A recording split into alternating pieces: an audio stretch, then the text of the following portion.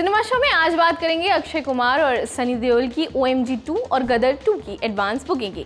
बताएँगे करण जौहर ने शाहरुख खान की तारीफ़ में क्या कहा, ऋतिक रोशन की क्रिश फोर पर क्या अपडेट मिला है और रॉकी और रानी की प्रेम कहानी से कौन कौन से सीन्स डिलीट किए गए हैं। तो चलिए, डालते हैं नज़र आज की बड़ी खबरों पर।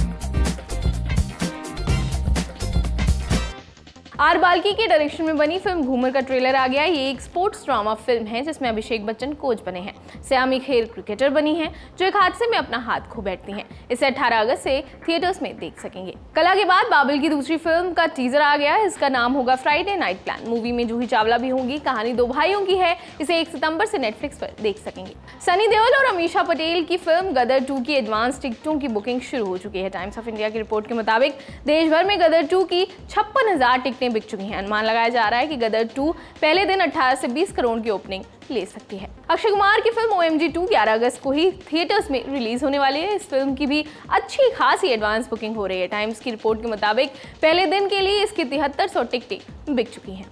आलिया भट्ट और रणवीर सिंह की फ़िल्म रॉकी और रानी की प्रेम कहानी बॉक्स ऑफ़िस पर बढ़िया कमाई कर रही है। फ़िल्म ने सातवें दिन छह दशमलव दो करोड़ रुपए कमाए। मूवी ने अभी तक तिहत्तर दशमलव तीन सात करोड़ रुपए का बिज़नेस कर लिया है। आयुष्मान खुराना की upcoming film Dream Girl two के स्क्रीन राइटर नरेश कथूरिया ने फ़िल्म के मेकर्स को लीगल नोटिस भेजा है। नरेश का आरोप है की फ़िल्म के क्रेडिट में कहीं उनका नाम नहीं है।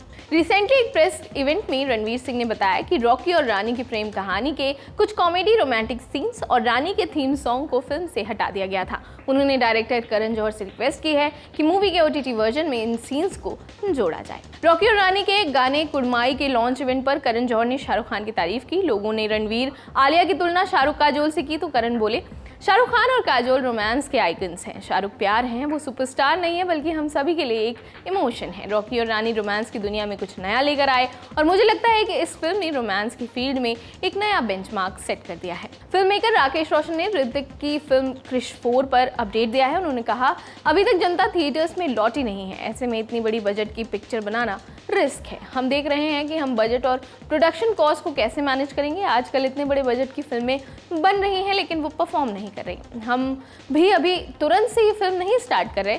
हो सकता है एक साल बाद इसे शुरू करें। अजय देवगन की फ़िल्म मैदान के कुछ खास फुटेज को चेन्नई में होने वाले बिग सिने एक्सपो में दिखाया जाएगा बॉलीवुड हंगामा की रिपोर्ट के मुताबिक आठ और नौ अगस्त को होने वाले इस इवेंट में प्रोड्यूसर बोनी कपूर भी शामिल होंगे। रॉकी और रानी के गाने कुरमाई के लॉन्च इवेंट में करण ने कहा, मुझे विश्वास नहीं हो रहा है कि फ़िल्म के लिए मुझे इतना प्यार मिल रहा है।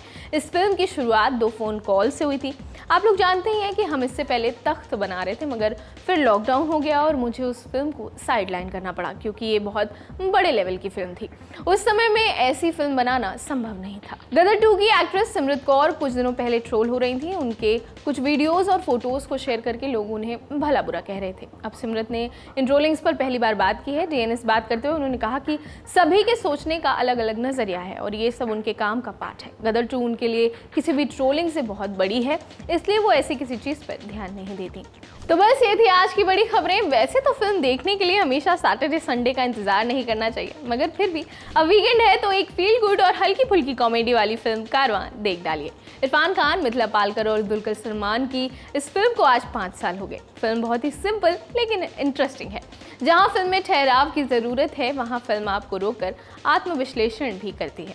कहानी बस ये है कि एक बेटा अपने पिता की लाश को खोज रहा है और इस सफ़र में उसे दो लोग मिलते हैं। बढ़िया पिक्चर है, देख डालिए और एक्सपीरियंस हमसे साझा कीजिए। मुलाकात होगी अगले हफ़्ते, तब तक के लिए शुक्रिया।